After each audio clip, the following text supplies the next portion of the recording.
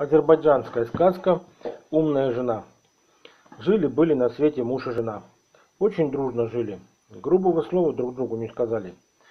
Муж с восхода до заката трудился в поле, а жена в это время пряла, ткала, да в доме прибирала. Восхищались сельчане скромностью и умом женщины. Все хвалили ее, нахваливали. Шли дни чередой, шли месяцы, годы, и молва о женщине разнеслась повсюду. Однажды услышала об этой женщине жена деревенского старосты. Чуть не лопнула от злости. И чем она лучше меня, что все ею нахвалиться не могут? Умру, но найду и погляжу на нее. Долго ждала жена старосты случая, чтобы выйти из дома. Как-то староста на несколько дней поехал в город по делам. Только муж за ворота, жена переоделась в рубище и пошла на поиски женщины. В один дом, в другой, наконец, расспрашивая людей, нашла. Притворилась жена старосты нищей, постучала в ворота и попросила подаяния. Добрая женщина подала нищей и продолжала работать. А жена старосты заглянула во двор и видит, что женщина сидит на самом солнцепеке. Придет шерсть, а рядом черствый кусочек хлеба и нагревшаяся под солнцем вода в ковше. «Сестрица, «Что же ты на солнышке сидишь, а не в тени деревьев?» – спросила жена старости. «Муж мой в это самое время в поле под жгучим солнцем косит пшеницу», – ответила женщина. «Ему негде в тени укрыться, да и поесть кроме черстого хлеба, и запить кроме теплой водицы ему нечего.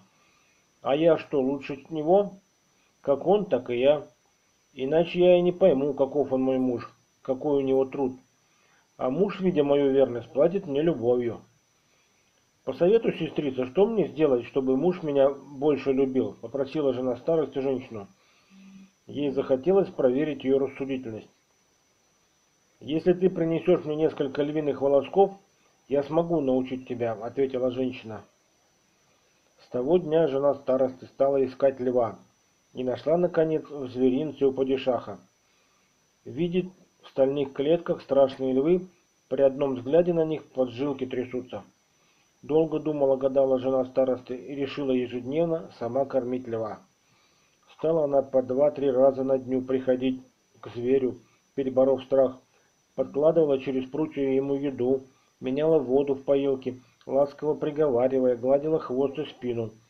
Спустя некоторое время осмелела она и погладила львиную голову. Лев стал узнавать ее. Однажды, гладя льва по голове, Вырвала она три волоска из его усов. Пришла жена старости к той женщине и показала ей львиные волоски. «Как это тебе удалось оборвать усы такому хищному зверю, как лев?» – спросила женщина. Жена старости рассказала женщине, как она обращалась со зверем, чтобы вырвать эти волоски. «Сестрица, поди-ка ты к мужу и относись к нему так, как относилась к льву. Тогда и он не будет тебя мучить, полюбит тебя, сказала женщина. С тех пор жена старости стала относиться к мужу так, как посоветовала женщина. Муж был очень доволен женой.